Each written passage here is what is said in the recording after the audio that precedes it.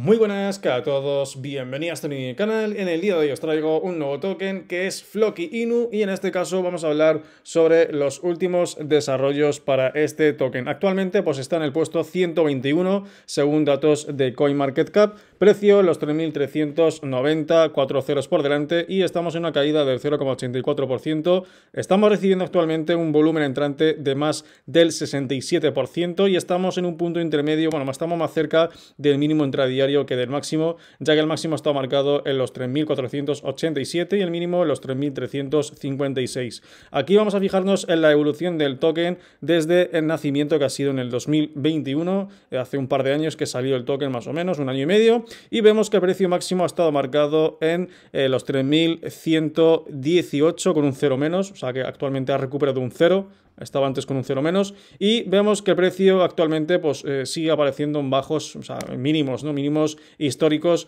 Bueno, actualmente estamos un poco mejor en comparación con hace unos meses, bueno, en comparación con el, con el 2022, pero actualmente estamos aún lejos de poder romper ese máximo histórico. Por lo tanto, eh, aún faltan bastantes cosas por desarrollarse dentro del token antes de dar ese salto y romper el máximo histórico. Hace poco pues, se listó dentro de crypto.com, que de hecho eh, lo tenemos aquí, vamos a entrar aquí en crypto.com, lo tenemos ya enlistado, ¿de acuerdo? Y si alguno pues quiere saber dónde se encuentra el token enlistado para comprarlo, pues tenemos varios exchanges que ya lo tienen actualmente. Eh, tenemos un total de más de 79 intercambios en los cuales se puede comercializar. Eh, Binance me parece que aún no está, eh, no está disponible para el token de Floki Inu.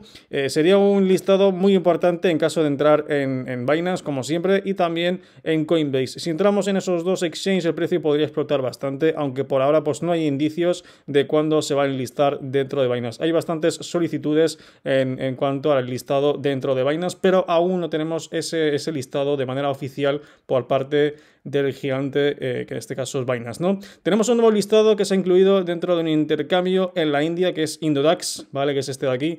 Eh, vamos a darle a actualizar.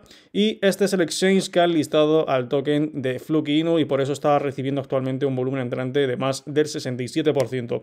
Bueno, pues es un, exchange intermedio, por así decirlo, no es un gran exchange ni tampoco es pequeño. Eh, me parece que, es, que ha sido fundado en el 2014 con más de 200 criptomonedas y tenemos actualmente 5,7 millones de eh, miembros, ¿vale? 5,7 millones de usuarios que están actualmente utilizando este esta plataforma, este broker, este exchange. Y eh, son muy buenas noticias porque cada listado que se produce para el token de Fluke Inu, pues son buenas noticias para que podamos aumentar lo que viene siendo el volumen, eh, los holders también, y al fin y al cabo, pues también aumentar la capitalización de mercado, que es lo que necesita actualmente para poder eh, volver a romper ese máximo histórico. Por lo menos quitarse este, cero de aquí, que sería una tarea bastante compleja. Una de las cosas que le, ayudaría, le ayudaría bastante al token de Fluke Inu sería un listado importante dentro de un Coinbase, dentro de un Binance, y también tendríamos eh, que quemar bastantes tokens, ya que contamos con muchos tokens actualmente en circulación, aunque mm, no es el token, no es la meme coin con, con mayor eh, tokens en circulación, hay otras que tienen bastante más, como puede ser, por ejemplo,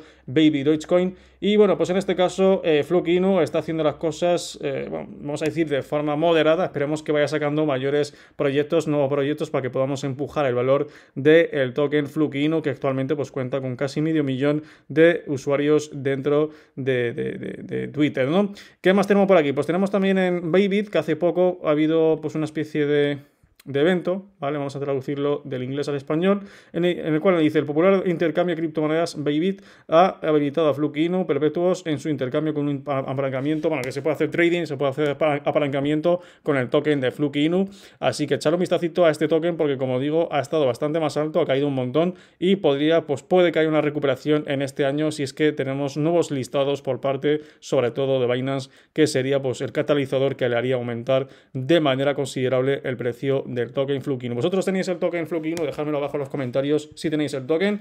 Así que nada chicos, espero que os hasta el vídeo os ha gustado, dejad vuestro like y nos vemos en el siguiente vídeo.